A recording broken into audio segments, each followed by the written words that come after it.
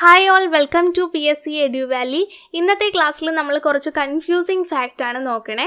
Okay അപ്പോൾ first of all viceroy എന്ന സ്ഥാനപ്പേര് British ഇന്ത്യയിൽ ആരംഭിച്ചത് എന്നാണ്. ആയിരത്തി എണ്ണൂറ്റി അൻപത്തി എട്ടിലാണ് ആൻഡ് അത് നിർത്തലാക്കിയത് എന്നാണ്. ആയിരത്തി തൊള്ളായിരത്തി നാൽപ്പത്തി ഏഴിലാണ് ഓക്കെ വൈസ്രോയി എന്ന സ്ഥാനപ്പേര് ബ്രിട്ടീഷ് ഇന്ത്യയിൽ ആരംഭിച്ചത് ആയിരത്തി എണ്ണൂറ്റി അൻപത്തി എട്ടിലാണ് അവസാനിപ്പിച്ചത് എന്നാണ് അല്ലെങ്കിൽ നിർത്തലാക്കിയത് എന്നാണ്. ആയിരത്തി തൊള്ളായിരത്തി നാൽപ്പത്തി ഏഴിലാണ് ഓക്കെ ഇനി അടുത്തത് ഉദ്ധം സിംഗ് ജനിച്ചത്. നമുക്കറിയാം ജാലിയൻ വാലാബാഗ് കൂട്ടക്കൊലയ്ക്ക് നേതൃത്വം നൽകിയ മൈക്കൽ ഒഡയറിനെ ഡയറിനെ കൊലപ്പെടുത്തിയ ദേശാഭിമാനിയാണ് ഉദ്ധം സിംഗ് ഉദ്ധം സിംഗ് എന്ന് പറയുന്നത്. സോ അദ്ദേഹം ജനിച്ചത് പഞ്ചാബിലാണ്. പക്ഷേ ഉദ്ധം സിംഗ് നഗർ സ്ഥിതി ചെയ്യുന്നത് എവിടെയാണ്? ഉത്തരാഖണ്ഡാണ്. സോ ഉദ്ധം സിംഗ് ജനിച്ചത് പഞ്ചാബിലാണ്. ഉദ്ധം സിംഗ് നഗർ എവിടെയാണ് സ്ഥിതി ചെയ്യുന്നത് ഉത്തരാഖണ്ഡിലാണ്. സോ ഉദ്ധം സിംഗ് ജനിച്ചത് പഞ്ചാബിലാണ്. ഉദ്ധം സിംഗ് നഗർ സ്ഥിതി ചെയ്യുന്നത് എവിടെയാണ്? ഉത്തരാഖണ്ഡിലാണ്. ഓക്കെ ഇനി അടുത്തത് ഗാന്ധിജി ആകെ തടവറയിൽ കഴിഞ്ഞത് രണ്ടായിരത്തി മുന്നൂറ്റി എൺപത്തി എട്ട് ദിവസമാണ്. ഓക്കെ ഗാന്ധിജി ആകെ ജയിലിൽ തടവറയിൽ കഴിഞ്ഞിട്ടുള്ളത് രണ്ടായിരത്തി മുന്നൂറ്റി എൺപത്തി എട്ട് ദിവസമാണ്. അതിൽ ദക്ഷിണാഫ്രിക്കയിലെ തടവറയിൽ കഴിഞ്ഞിട്ടുള്ളത് ഇരുന്നൂറ്റി നാൽപ്പത്തി ഒമ്പത് ദിവസമാണ്. ബാക്കി രണ്ടായിരത്തി എൺപത്തി ഒൻപത് ദിവസം ഇന്ത്യയിലായിരുന്നു.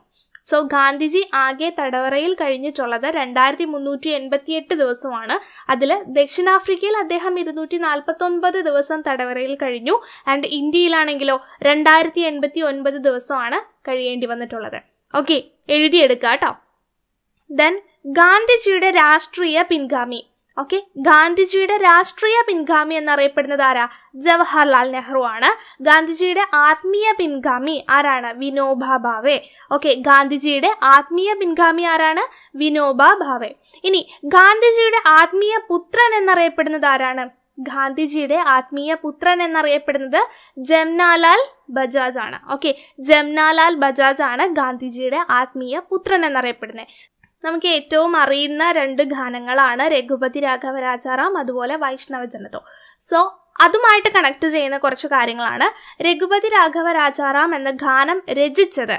ആ ഗാനം രചിച്ചത് ലക്ഷ്മണാചാര്യയാണ് ആ ഗാനത്തിന് സംഗീതം നൽകിയത് വിഷ്ണു ദിഗംബർ പലുസ്കർ ആണ് ഓക്കെ സോ രഘുപതി രാഘവ രാജാറാം എന്ന ഗാനം രചിച്ചത് ലക്ഷ്മണാചാര്യയാണ് ആൻഡ് ആ ഗാനത്തിന് സംഗീതം നൽകിയത് വിഷ്ണു ദിഗംബർ പലസ്കറാണ്. ഇനി വൈഷ്ണവ ജനതോ എന്ന ഗാനം രചിച്ചതാരാണ്? നർസി മേത്തൺ ഓക്കെ വൈഷ്ണവ ജനതോ എന്ന ഗാനം രചിച്ചതാരാണ്?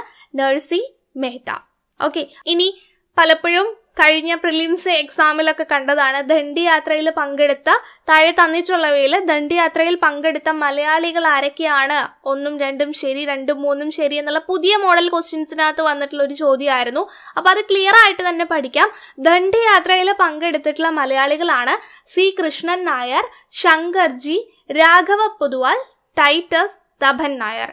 Okay C. Krishnan Nair Shankarji Raghava Poduval Titus and Tapan Nair. അഞ്ചു പേരാണ് പങ്കെടുത്തിട്ടുള്ളത്. ആരൊക്കെയാണ് ഒരിക്കൽ കൂടെ പറയാം. C. Krishnan Nair Shankarji Raghava Poduval Titus and Tapan Nair. Okay ദണ്ഡിയാത്രയിൽ പങ്കെടുത്ത മലയാളികളുടെ പേരാണ് എഴുതിയെടുക്കുക. ഇന്നത്തെ ക്ലാസ്സിൽ ആദ്യം പറഞ്ഞത് ഏതായിരുന്നു? വൈസ്രോയി എന്ന സ്ഥാനപ്പേര് ബ്രിട്ടീഷ് ഇന്ത്യയിൽ നടപ്പിലാക്കിയ വർഷം. ഏതായിരുന്നു? ബ്രിട്ടീഷ് ഇന്ത്യയിൽ നടപ്പിലാക്കിയ വർഷം ആയിരത്തി എണ്ണൂറ്റി അൻപത്തി എട്ടാണ് അത് നിർത്തലാക്കിയത് എന്നാണ്. ആയിരത്തി തൊള്ളായിരത്തി നാൽപ്പത്തി ഏഴിലാണ് ഇനി ഉദ്ധം സിംഗ് ജനിച്ചത് എവിടെയാണ്? ഉദ്ധം സിംഗ് ജനിച്ചത് എവിടെയാണ്?